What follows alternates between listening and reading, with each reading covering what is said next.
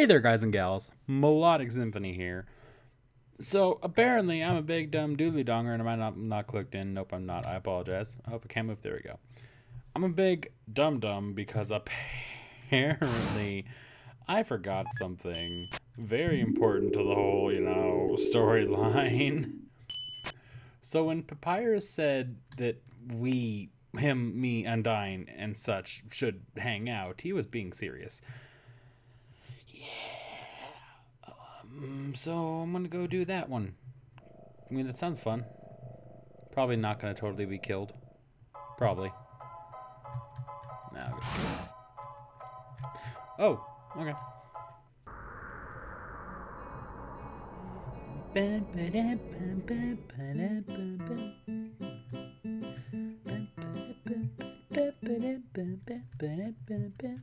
What do I have right now? I, it's been a while. I have a, I have a stick. Stats. Oh, okay. Okay. Eh, okay. So I've actually been told a few things. Oh, let's not go down there. So apparently there's some people in the back alley there I need to talk to. Um. Oh yeah, I surprised him because I knew his name. Um, left one. So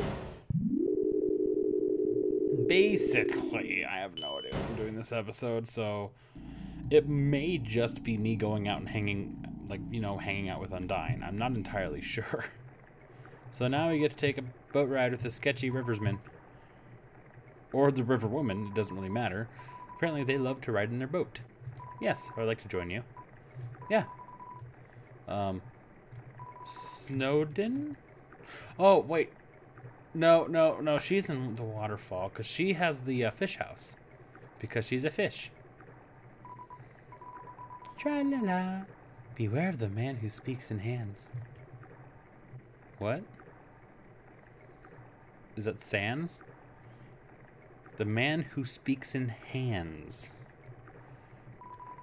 Who uses their hands a lot? I'm really confused. Oh, no, it's not here. Yeah, no. What am I doing? I'm not. What? Stop it. I need to not be as like dumb as this is. Okay, I apologize. I may cut this out, or you, or I'll just leave it in, and you guys get to listen to me stumble over my own words for like a minute and a half. I like this little boat. It's kind of like it's just a fun little thing you add in, and I like little fun things.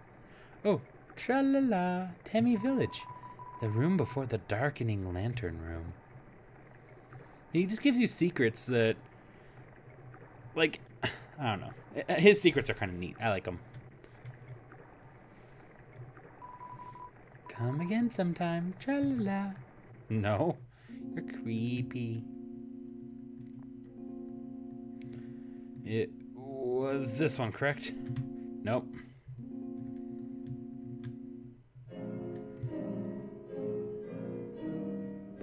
This music. Should I be concerned about this music? Oh, the human arrives. Are you ready to hang out with Undyne? I have a plan to make you two great friends. Will you hang out? Yes. Okay, stand behind me. Psst. Make sure to give her this. She loves these. Is that a bone?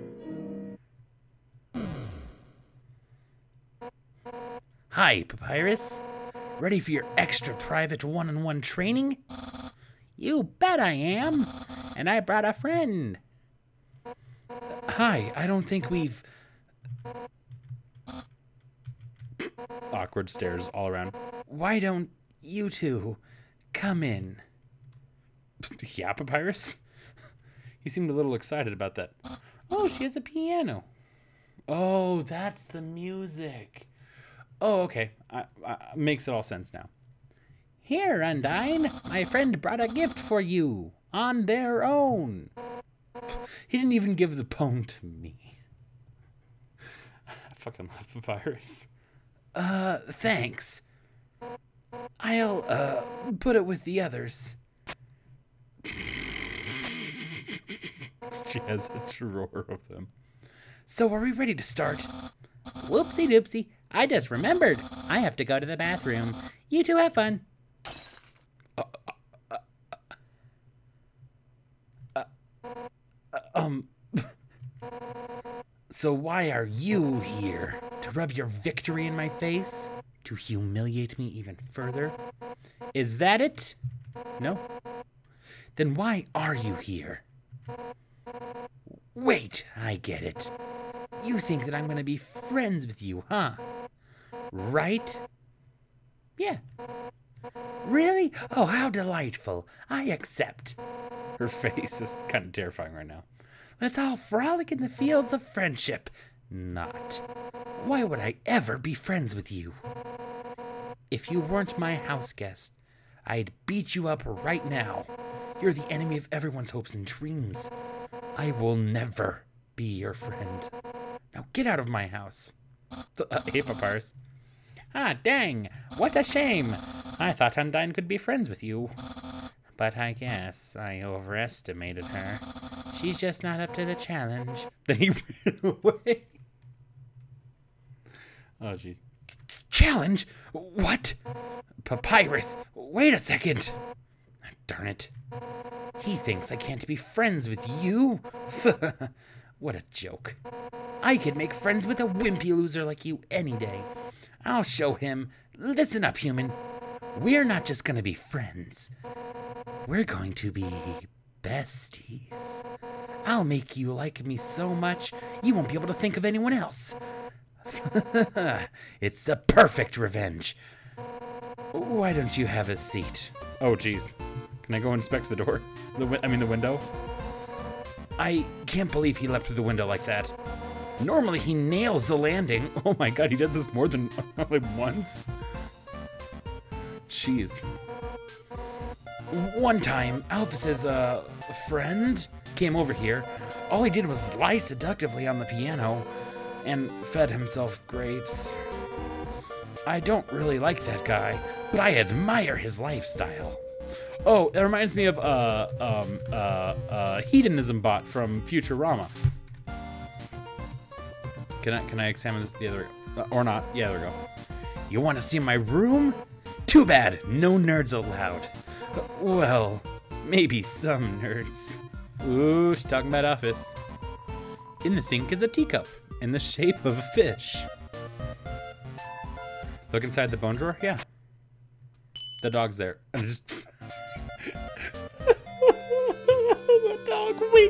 Me. Hey, hey, Undyne. Hey there. How you doing? Oh, God. The eye just peeking over the shoulder is kind of creepy. This oven is some top line MTT thing.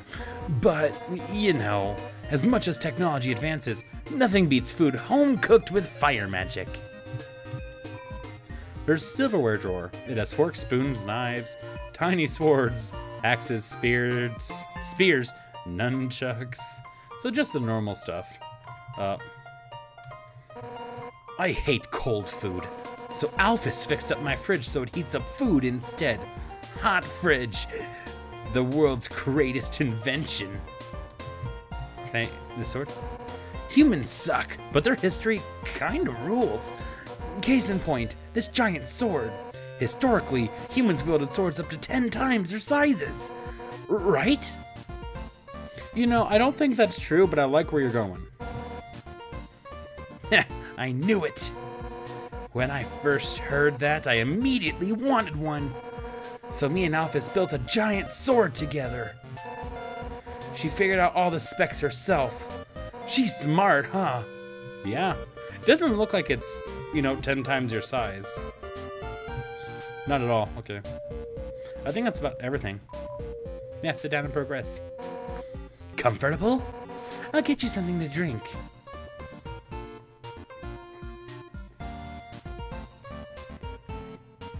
Yay. All set. What would you like? Oh, I just gotta go. Or not. Hey, don't get up. You're the guest. Sit down and enjoy yourself. Um, why not just point to what you want? Uh, you can use a spear. Oh, oh my, wait. I can select Undyne? Are, are you hitting on me? I, I promise. Sugar goes in tea? For tea.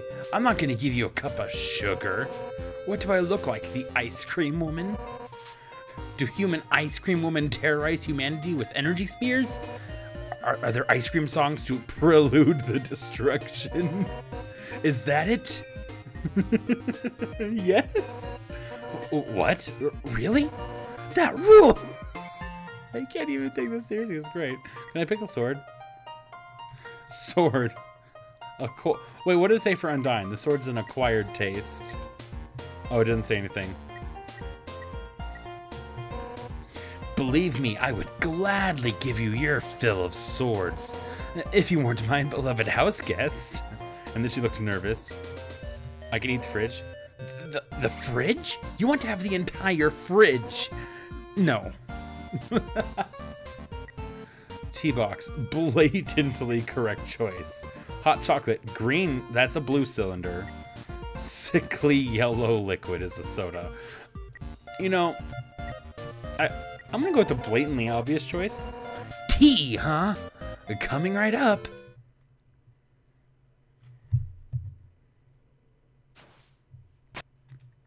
Yeah? Yeah? It'll take a moment for the water to boil. I just imagine Undyne as being the person who tries really hard to make friends, even though she's so aggressive and mean, it's hard for her. Okay, it's all done. Also, I don't know what voice to give her because every YouTuber I've listened to has had a different perspective on how they see Undyne. And the only YouTubers I see who pull off a good Undyne voice are female YouTubers. So, whatever. I'm just going to give her like some sort of tomboyish voice, like a girl who's pretending to sound like a guy. Yeah, I'm just going to do that because it's easier for me.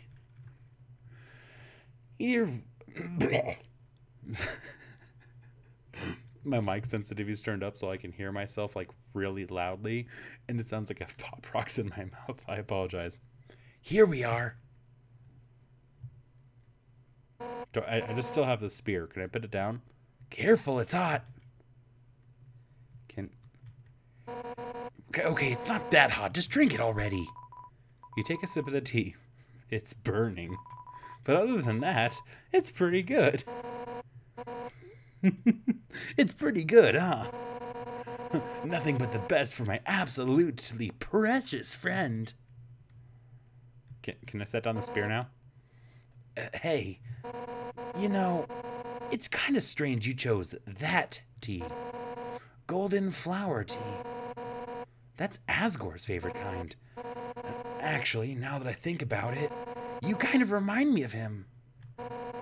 You're both total weenies. Uh, sort of. You know, I was a pretty hot-headed kid. Y you know, that may have carried over to your adulthood. Just maybe. Aw, the music's adorable, so I can't get mad at her. Once, I, to prove I was the strongest, I tried to fight Asgore. Emphasis on tried. I couldn't land a single blow on him. And worse, the whole time, he refused to fight back. I was so humiliated. Afterwards, he apologized and said something goofy. Excuse me, do you want, do you know, yeah, do you want to know how to beat me? I said yes, and then from and from then on, he trained me. One day, during practice, I finally knocked him down. I felt bad. But he was beaming. I had never seen someone more proud to get their butt kicked. Anyway, long story short, he kept training me. And now I'm head of the Royal Guard. So I'm the one who gets to train dorks to fight. Like, um, Papyrus. But, um, to be honest, I don't know if can ever let Papyrus into the Royal Guard. Don't tell him I said that. He's just, well, I mean, it's not that he's weak. He's actually pretty freaking tough. It's just that he's, he's too innocent and nice. I mean, look, he was supposed to capture you, and he ended up being friends with you instead. I could never send him into battle. He'd get ripped into little smiling shreds. That's part of why I started teaching him how to cook, you know? So, um, maybe he can do something else with his life. Oh, sorry, I was talking for so long. You're out of tea, aren't you? I'll get you some more. Yeah? Wait a second. Papyrus. His cooking lesson. He was supposed to have that right now! And if he's not here to have it, you'll have to have it for him. Oh god. Oh jeez. Oh. Okay, fuck all those things. That's right. Nothing has brought Papyrus and I closer than cooking. Which means that if I give you his lesson, we'll become closer than you can ever imagine. Oh my god. Gonna not stutter? We'll be we'll become closer than you can ever imagine. Are you afraid? We're gonna be best of friends. Hey, uh, oh, uh, oh, okay. Oh. Uh, alrighty then. Let's start with the sauce. Where, where did those come from? Do you have like a, an actual fridge on your ceiling? Oh, okay, whatever. Envision these vegetables as your greatest enemy. Now, pound them to dust with your fists. How will you pound? Strong. you punch the vegetables at full force. You knock over tomato. Yeah, yeah! Okay, our hearts are uniting against these healthy ingredients. this music's so epic for something so simple. Oh god. Okay, I took a breather. Now it's my turn! Yeah! Oh. Oh. Uh, um, we'll just scrape this into a bowl later. But for now... We had the noodles! Homemade noodles are the best, but I can just buy store brand. They're at... they're the cheapest. Yeah! Um, just put them in the pot. How you put them in? Fiercely. You throw everything into the pot as hard as you can, including the box. It clanks against the empty bottom. Yeah! I'm into it! Alright, now it's time to stir the pasta. There's no water in it. As a general rule of thumb, the more you stir, the better it is. Ready? Let's do it. What? Oh, oh, oh, oh. Stir harder. Harder! Harder! Oh god. Ugh, let me do it. Oh. Oh. Oh. That's the stuff. All right, now for the final step. Turn up the heat. Let the stovetop symbolize your passion. Let your hopes and dreams turn into burning fire. Ready? Don't hold anything back. Hold right to turn up the heat. Oh. Oh. Oh. Oh. Hotter. Oh, please. Oh, God. Hotter, darn it! No, Undyne, this isn't safe. Wait, that's too...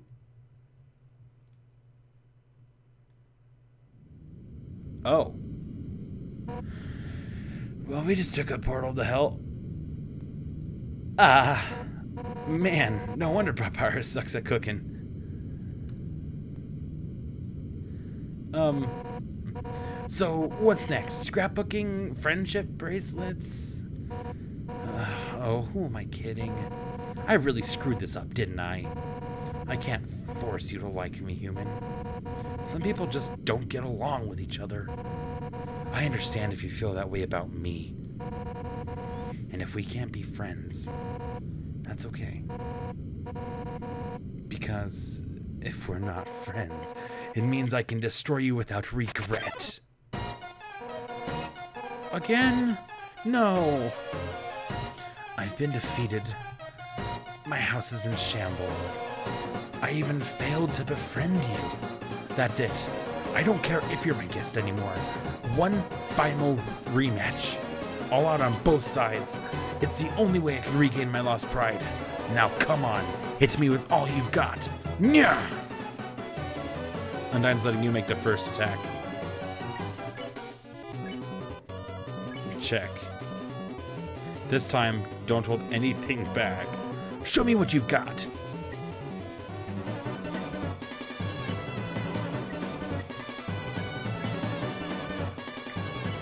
Fake attack? You pretend to swing at Undyne with all of your might. Oh. That piddly damage. What? That that's the best you can manage? Even attacking at full force. You just can't muster any intent to hurt me, huh? you know what? I don't actually want to hurt you either.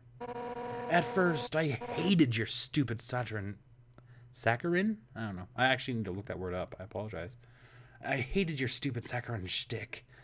But the way you hit me right now, it reminded me of someone I used to train with. Now I know you aren't just some wimpy loser. You're a wimpy loser with a big heart. Just like him. Listen, human. It seems you and Asgore are fated to fight.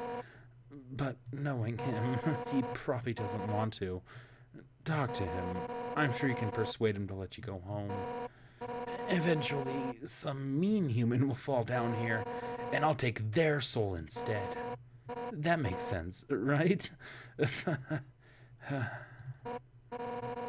oh, and if you do hurt Asgore, I'll take the human souls, cross the barrier, and beat the hell out of you. That's what friends are for, right? now let's get the hell out of this flaming house. Oh, it's sad. Well, that was fun. uh, we'll have to hang out again another time. But, uh, somewhere else, I guess. In the meantime, I guess I'll go hang out with Pyrus. So if you need me, drop by Snowdin, okay? Oh, and if you ever need help, just give Pyrus a ring, okay? Since we're in the same spot, I'll be able to talk too. Well, see you later, punk. Aw. This so sad? What? What? What? It's a living. I, have read that before, but it's adorable. I like it. It looks sad. It sounds like only fire lives here now. it's kind of, kind of adorable. Um, I think that's all I needed to do for this episode. So yeah, heck yeah. Um, from what I was told, um, I'm going to stop by and talk to apparently someone named Bratty and someone named Catty. So that's going to be a fun time where I'm wanting to rip my own brains out. But uh, other than that, yeah, this has been a great episode, guys. Let me face the camera. So, yeah. Thank you guys so much for watching. Leave a like, comment, or subscribe if you want to see more. And I'll see you in the next one.